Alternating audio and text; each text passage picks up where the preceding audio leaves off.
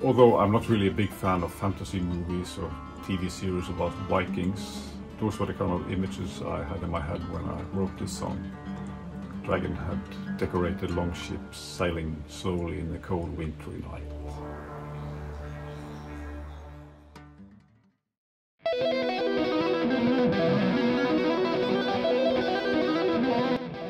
This song has some prog rock elements that has not been too prominent in my earlier work. I believe, I think it has to do with the fact that I have played a lot of prog rock stuff lately with Chris Thompson.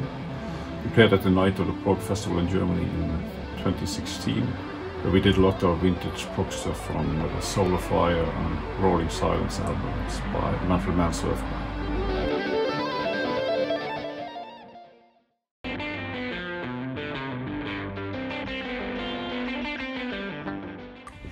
This is the first song I have written with Frank Hovland, who has produced most of my albums. Strange really since we have worked together for so many years. I use a different tuning on my guitar, the strings are tuned D, G, D, G, A, D, low to high. Only one string different from the more usual dad cat tune. I've used it a lot over the years.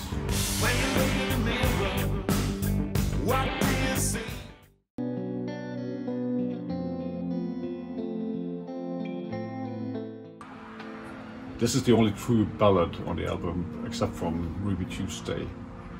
It's not about dreams not coming true or anything like that, I just kind of like the title. It has a weird chord structure, it keeps changing from D minor to C sharp minor to C minor and back again. It was one of those songs that came very quickly.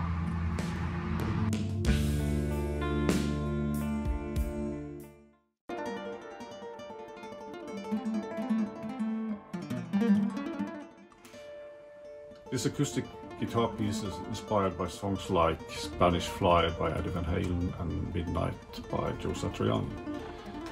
I played with my left hand upside down, a technique I worked a lot with and I've used a lot on the album. It might seem like a gimmick, but it's not really. You can get very unusual note selections with this technique. The concept is not new, but I like to think that I found my own way of doing it.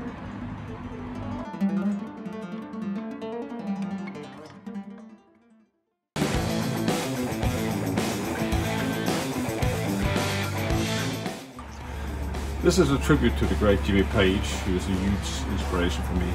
Some people have commented that it doesn't really sound like Jimmy Page, which might be true, but then again I think you can pay tribute to someone without slavishly copying that. For those of you who are not too familiar, too familiar with uh, Led Zeppelin, they have a tribute song called Hats Off to Roy Harper.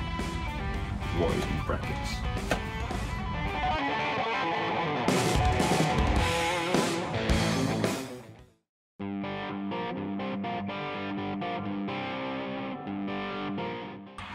This is the second song co-written and sung by Frank Hovland. The opening riff is inspired by Ritchie Blackmore and it's a basic rock song for most of the part, but there's a quiet bit in the middle that stands in contrast to the rest of the song. I'm using an EBow for maximum sustain here.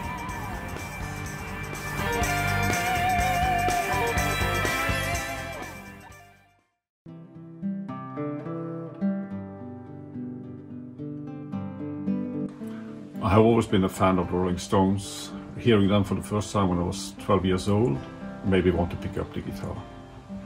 I think Ruby Tuesday is one of the most beautiful songs ever written and well suited for chord melody style guitar playing.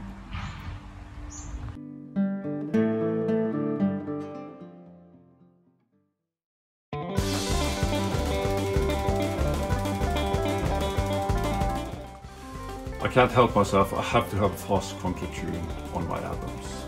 This is a 190 beats per minute and has no picked notes. For the whole song I'm using tapping techniques both normal and upside down. I've dedicated it to Chris Thompson, who I have the privilege of playing with. This is a phrase he usually uses when introducing me in concerts.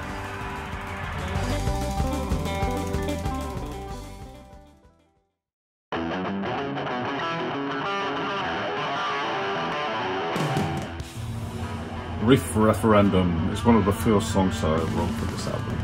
I do two different solos on this one. One with a bit of a classical flavor, and uh, the second one was some outside elements. It has a nice fade, and a good way to finish off the record.